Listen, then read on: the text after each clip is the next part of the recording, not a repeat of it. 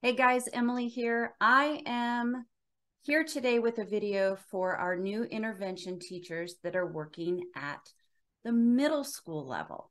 Now, I have a number of people that have reached out and asked about specific information or insight related to working with struggling readers at that upper elementary or middle school area. And I want to remind you, I spent 10 years of my career in middle school intervention and English, kind of a hybrid type of a program that I'll share with you today. But before we get started, I want to remind you to first make sure you like this video. Please subscribe if you haven't done so already feel free to share with anybody who may benefit and click the little bell below so that you receive notifications when I upload. All of those things help YouTube know that what I have is valuable to people and it helps others find me. So if we could do that, that would be great. Now, jumping into our middle school intervention area. This is a unique type of situation working with middle school students for a number of reasons. First is, is it too late? Is it too late when we see middle schoolers that are struggling with reading? Can we really make any changes and gains? And the answer is yes. You absolutely can. So, if you are a special ed teacher, intervention teacher, any middle school teacher, and you're worried about your middle schoolers, there's still hope. Now, you know, in education, we hear all of the time we need our students reading proficiently by the end of third grade to put them on a trajectory of success. And there's a lot of truth to that in the fact that we can make gains earlier or we can make gains quicker the earlier it is and so third grade is is that point where students have are moving from the learning to read to reading to learn and how they do in third grade is really going to determine um, so much of their success later on. However, we can still get students in middle school that are struggling. Either they've missed intervention, they didn't get um, proper, n- properly matched instruction and curricula related to their actual need um, they might you might have students on IEPs or 504s or kids that are struggling for a variety of reasons. And it's not too late. Okay. So hold on to that. It's easier when they're younger, but it's not too late. Some of the challenges with working in middle school in intervention, the number one challenge in my experience is working within a master schedule. We have kids that have schedules, and we're now talking about earning credits by completing their um, core classes so that they are meeting those requirements for middle school and even early high school. And so a master schedule can be kind of restricting when it comes to intervention. Elementary school, we can create kind of a platooning program where kids are either walking to intervention or in some cases they're being pulled out for intervention. It doesn't work that well in the middle school because they have to continue to maintain their progress in their core classes. Super important. So, how do we do that? Well, there's a couple of things that we did in my experience, and I'll share with you kind of a generic way and look that what our program did. This was in, I'm going to say around the 2010 mark 2009 we kind of worked this program for about five years or so. Um, and we worked within a master schedule and we did that by creating a class. We called it reading strategies at the time. I would definitely rename it at this phase but it was a blocked class. So I was the teacher of record. I was also the English teacher, and I was the reading specialist and interventionist. So, students that qualified for intervention at the middle school actually had me for two periods. It did eat up one of their electives. We had six periods in a day. Um, and so it it took away an elective, which can be a challenge, but I can tell you how to kind of work around that as well. So students are scheduled with me for two 50, 50 minute periods.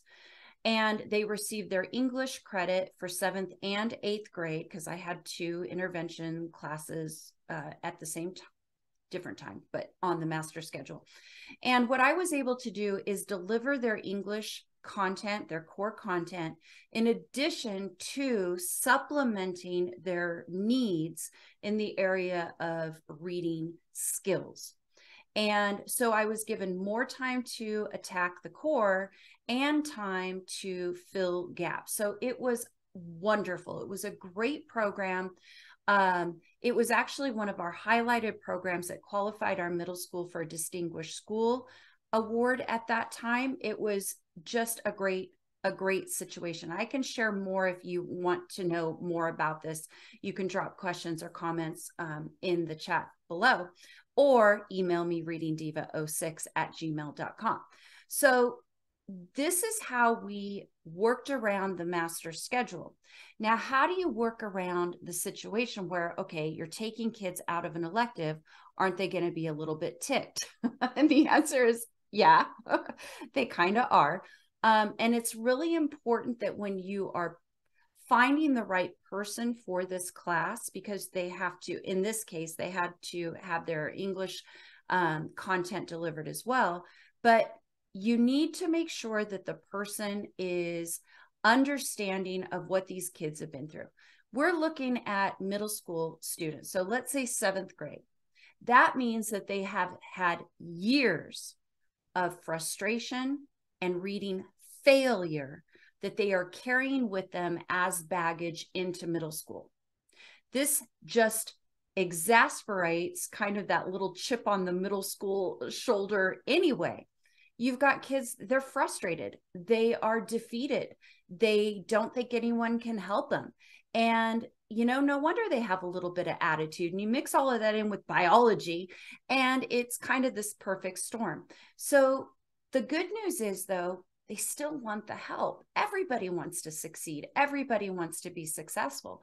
And so when you can show your kids that you can help them do that that is how we can make sure they understand that the value that they're getting by being there is worth that elective space.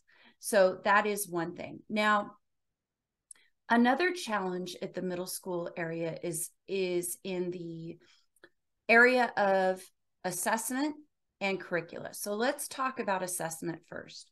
Typically, kids that qualify for middle school intervention are no longer receiving part of a universal screener like Acadience, for example. And so we're using end of the year summative assessments. In California, it's the CAASPP. Um, and so it might be the MAP for you. There's a number of different ones depending on your state. And that is kind of where we started to pull our kids. So we were looking for kids that were below proficiency on that end of the year state test. In addition to grades, we were also tracking grades and any teacher recommendation. Now, in my district, we had a really strong working relationship with our elementary um, intervention programs. And so they would share with us those kids that were coming up that may have uh, continued needs in reading intervention.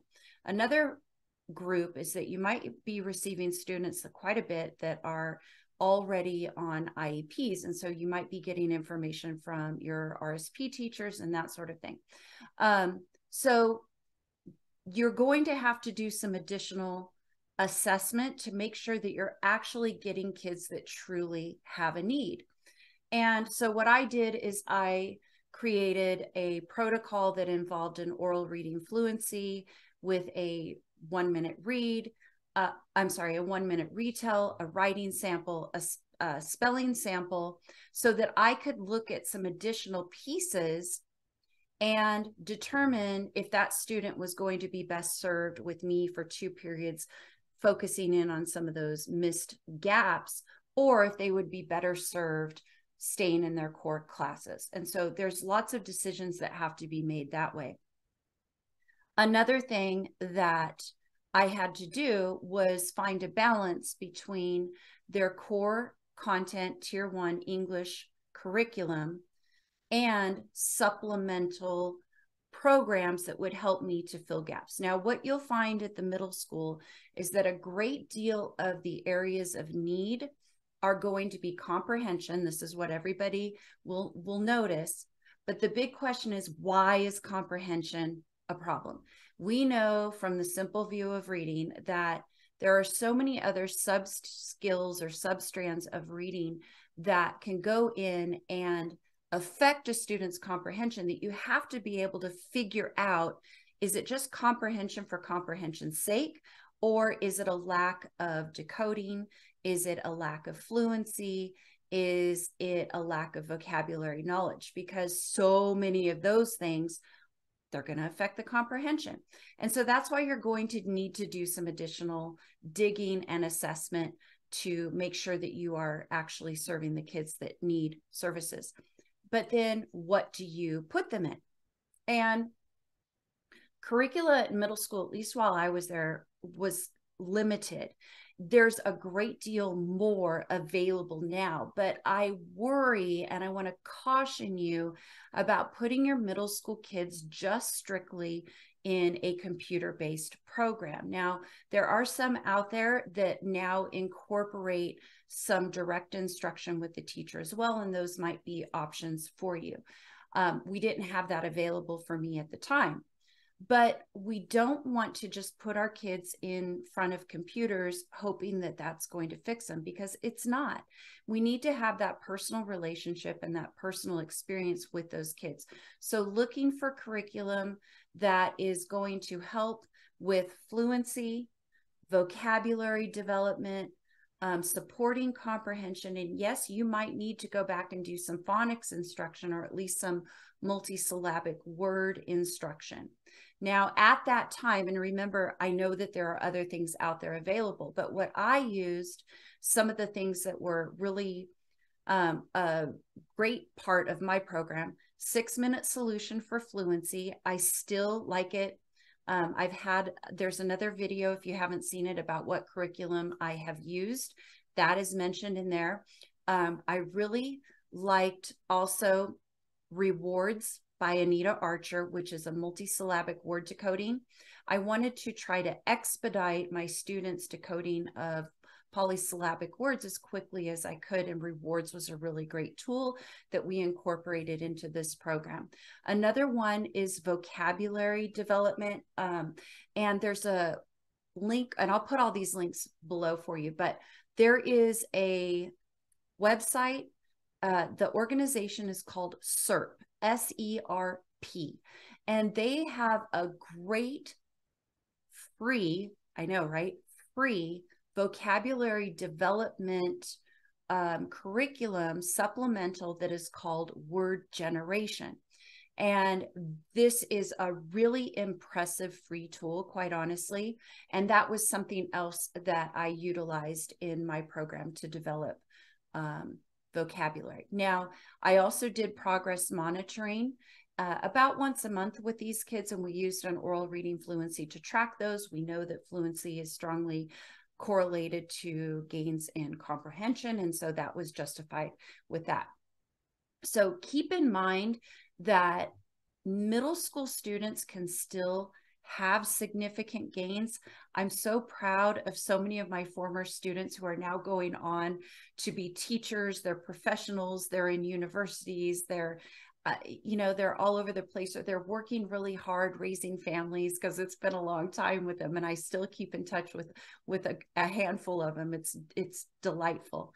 Um, so please don't think that it's too late. And if you are a middle school teacher or a middle school interventionist in particular you've got your work cut out for you it takes a lot of creative thinking about how you are going to provide support for these kids and not hold them back from what they need to do with the rest of their peers and in their core content.